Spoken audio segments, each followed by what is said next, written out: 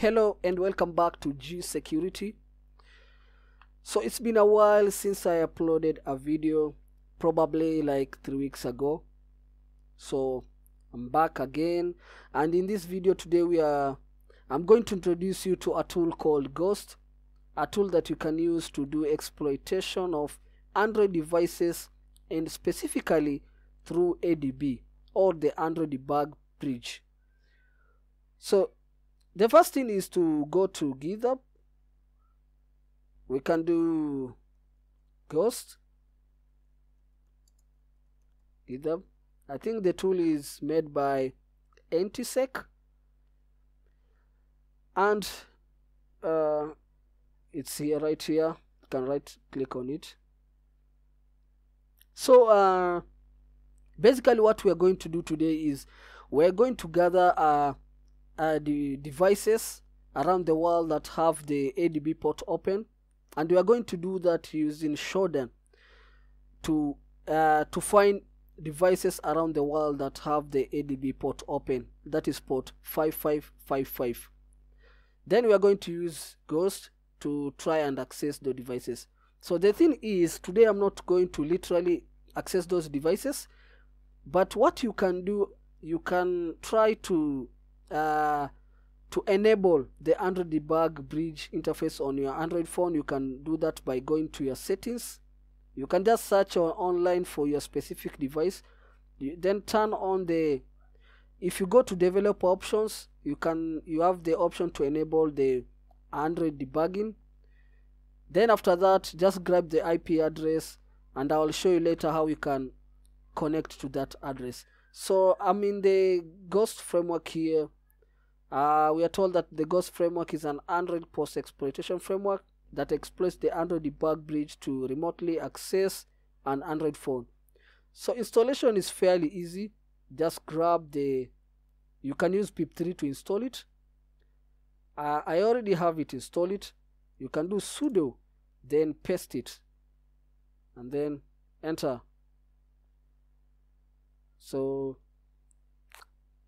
it's just going to overwrite the the existing installation. Then uh, we are just going to run the tool sudo ghost. And there it is the ghost framework and it's version 8.0 by Antisec and then we are greeted by this ghost prompt. It's just waiting for a target. Now we can go to Shodan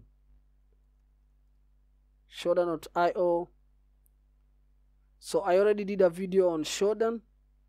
And what we can do here we can go and search for the Android debug bridge. And what Shodan will do will try to gather all devices around the world that have the port 555 open. And that is the Android debug bridge. And there it is. We have 17,000 results. And most of them are located in the United States. So we can try to let me open this one in a new tab. So all these devices that you can see here all these IP addresses have the Android debug bridge open. That is port 455 open. So we can grab this IP address. So we'll just assume this is our phone okay? You can do connect then paste the IP there but I'm not going to do the exploit the actual exploitation or try to gain access to that uh, device. But what you can do as I already told you earlier is you can enable the Android debug bridge on your phone then paste the IP address of your Android phone there and then try to see all the features of the Ghost framework and everything that you can do with Ghost. So uh, this is just, just a simple tutorial on how you can use Ghost to do exploitation of the Android debug bridge. So if you're not doing any uh, development uh, work, I it, there's no need for you to actually open port 555 on your phone because just like that, Shodan will be able to pick your IP address. So you may probably these people like this guy in Spain has no idea maybe we can actually see his public IP and such kind of information. So thank you guys for passing by and watching this video. Please if you really like the video subscribe like and share. More and more videos are on the way. Thank you and god bless